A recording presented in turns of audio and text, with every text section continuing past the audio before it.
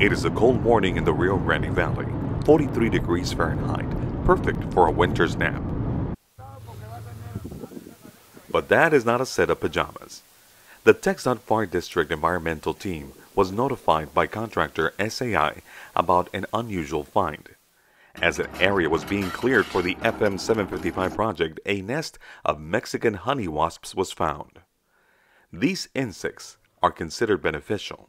They are nectar gatherers, pollinators, and have been known to produce honey on a large scale and are a distant relative to the honeybee.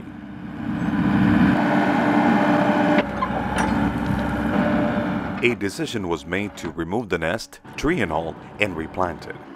Thanks to the cold snap, the wasps, known for their powerful sting, remain docile. Research on the Mexican honey wasp could unravel the mystery behind a downward spiral in the population of honeybees throughout the nation. Up to 20,000 wasps can live and work inside a nest of this size. The nest has been relocated to the state's right of way where it should remain undisturbed. For the Texas Department of Transportation, I'm Octavio Saenz.